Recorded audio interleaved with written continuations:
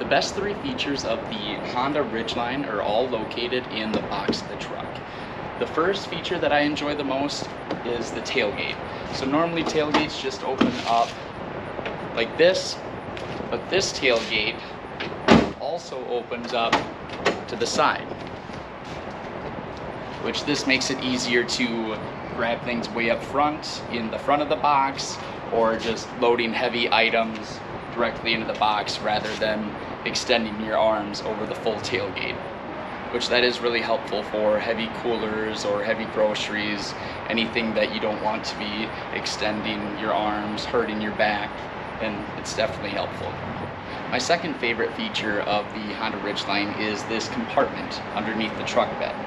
As you can see, we've got a normal truck bed here, but there is a handle with a button that you can pull up, and we've got a compartment under here which is completely waterproof. I just did a test with uh, going through a car wash and also running a garden hose over it for about 10 minutes and we didn't get any water in there. It is a pretty sizable compartment.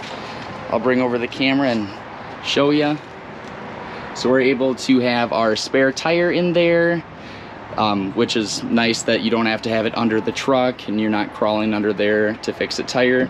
We've got the jack as well, I normally keep my straps, my cables, my first aid stuff, and my tools in this box, and I don't have to worry about it getting wet or somebody stealing it because we've got a lock here. And this is the drain plug here. I've actually never opened it. Oh, just like that. Just twist it out and you can fill it up with ice and refreshments which makes it awesome for a tailgating party. If you're going to a game, you can just fill up that uh, huge cooler full of beverages and have yourself a good time. Another good thing about the compartment is you can put a lot of things down here so they aren't shifting around in the box while you're driving. They stay put in the smaller space under the box. The truck bed compartment is quite sizable. I'm able to store all of this inside that compartment.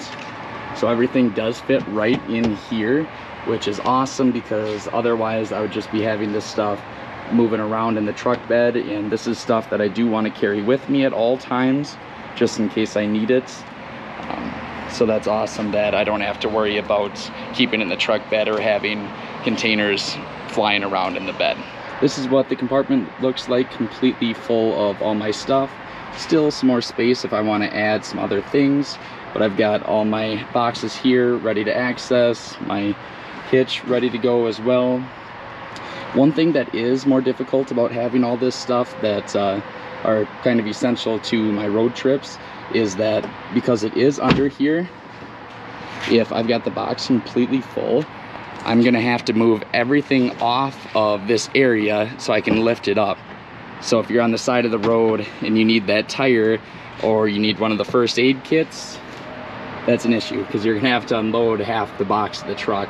So that's not great, but there's not much of a way to fix that uh, except for to keep the essential items more accessible. The coolest feature of this truck is the in-the-bed speakers. So we've got speakers on the side here and on the side over there of the truck that are completely waterproof and inside the side so you can't see them, nothing's gonna get in them. But you're able to play music from the truck that shoot out of the speakers. So it's perfect for tailgating. Have the music there, the cooler in here. To turn on the in-bed speakers, we have to turn on the truck, just the electrical aspect, not the engine. So I just did that here. So we are going to home, then we're going to truck bed audio. So click that. We're just gonna say on here. Okay, so it's just saying that we're not gonna have any sound in the truck, only in the truck bed now.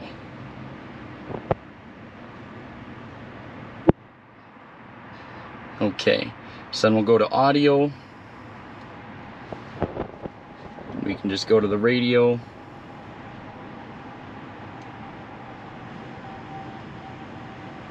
I don't think that's a station. Okay, so we've just got a station here. I'm not going to play any music just due to copyrights, but you can hear that the speakers are working in here. You heard me say it before, I'm gonna say it again. It's just a guy talking, so not super exciting.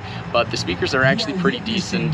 Definitely good enough for a tailgating party, or if you're out in the woods doing some work, um, good enough to uh, get you by.